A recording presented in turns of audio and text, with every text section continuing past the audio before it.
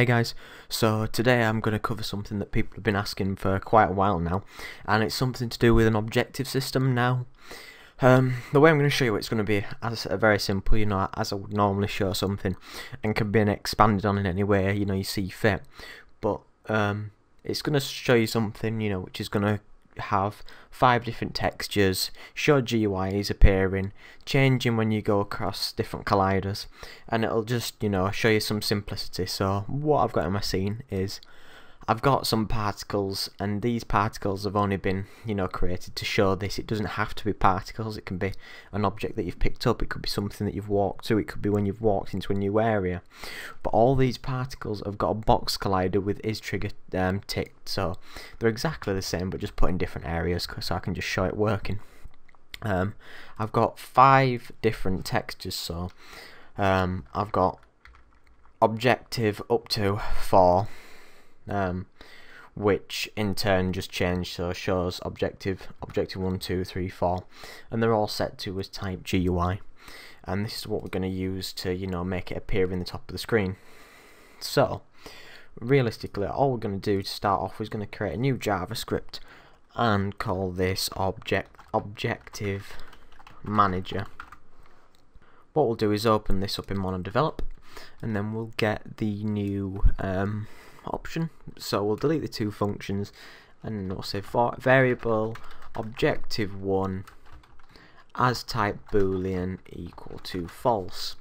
Now I'm going to copy this another four times set 1 2 and then 5 times and then change it to objective 2 objective 3 objective 4 and then objective 5 and similarly I'll also write a new variable call it texture 1 as type texture.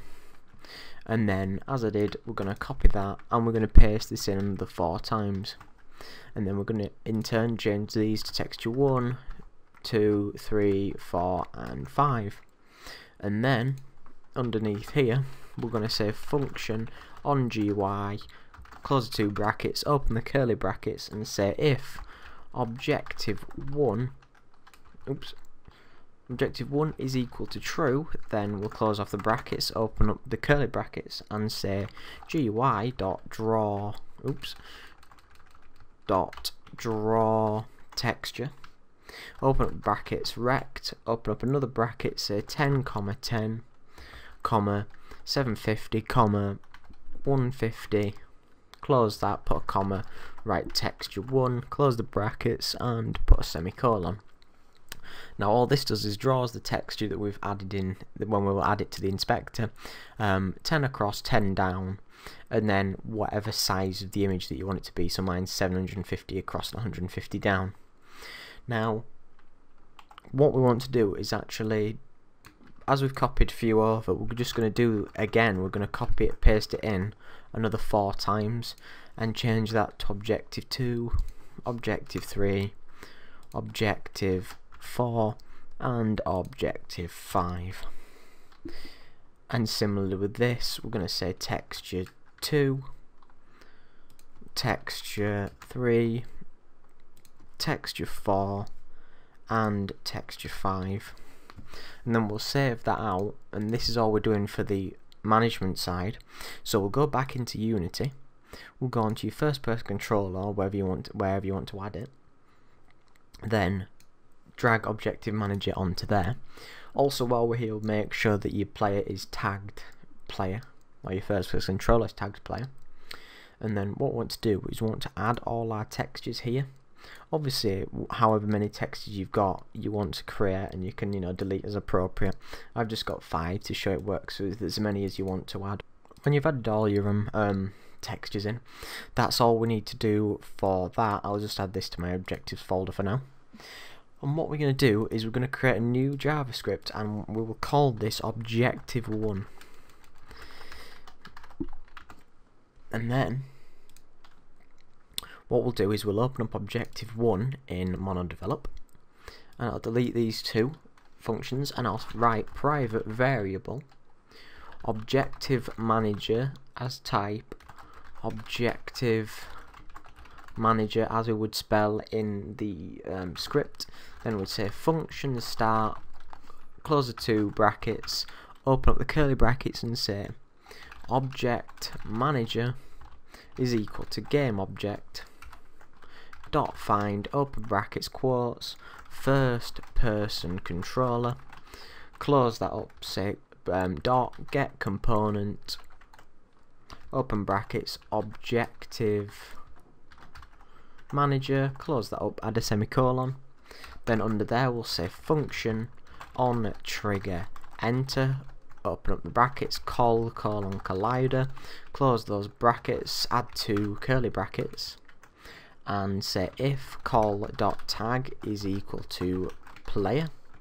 We'll add two brackets under there and then say destroy open brackets game object close that up put a semicolon. And then what we'll say is object manager dot objective. Make sure it's lowercase. Objective 1 is equal to true. And what this does it just finds the other script that we created and whatever variable variable we had we're just going to change the value from false to true now what I'm going to do here is like before paste it another four times change this to objective 2 objective 3 objective 4 and objective 5 so when we've gone over a particular collider it keep you know it sets the values accordingly. So we don't um, make any of the GUI appear at any one time. Then we're changing all these to false because we don't want the others to appear. So we'll save that out and what we'll do is we'll keep hold of this one. And what we're going to do is duplicate this um, four more times. So you just can press select the object and press control D once twice three times four times and it'll pretty much create what you want. So then we can open objective 2 in MonoDevelop and we want to keep, um, keep everything exactly the same except we just each time we're going to change the one that we want according to what the actual objective is. So objective 2 equals true everything else is false. I'll do one more then I'll pause the video and you know just to speed this up. Then we're going to change that back to false and we're going to make 3 equal to true. So you get what I'm doing. I'm just adding making 1 equal to true every time so now I've done all my objectives what I'm going to do is I'm going to add each of my objectives to my actual objects that are going to do something. So I'll add it to each of one of my particle effects. So each one accordingly to how I want it to happen. So now when we press play you'll notice that nothing happens and I've got all the particle effects going on. Now I'll walk into the one I want and obviously that gets destroyed. We've got a new objective and then you can you know you have this appearing fading whatever you like. Then we walk into the other you know we'll get a new objective and the other one goes away. We'll walk into the other we get another objective. Walk into the other we get another and you know as you expect we walk into it again and we've got our last objective. Now obviously you can you know make change these to any way that you particularly see fit um, now that's pretty much the entirety of what I was going to show but something I've just thought about is what you could change um, if you didn't want the um, objectives to last forever.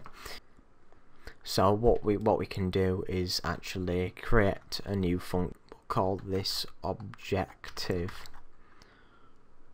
Dis for disappear and we'll add two um, semicolons I mean two brackets and a semicolon then we'll say function objective dis two curly brackets. Then we can say yield wait for seconds open brackets say two seconds add a semicolon then we'll say objective 1 is equal to false. And then what we can do is minimize that play the game go back into here we'll walk into our texture and then after two seconds it disappears again because we can't actually use a um, yield inside um, a GUI object, so you have to do it outside. You can make a timer, but for, for ease and simplicity, I've just used it here. And what you could do to make this work for any texture, you could add that function to each of these and make sure you turn them all to false after you've waited two seconds. So, you know, you don't have to write loads of functions for each one. So that's pretty much just the simplicity of making um, an objective system. Nothing crazy, nothing too complex, but hopefully that'll help you out. Alright, as ever, thanks very much for watching. If you like the tutorial, don't forget to like, comment and subscribe. Cheers.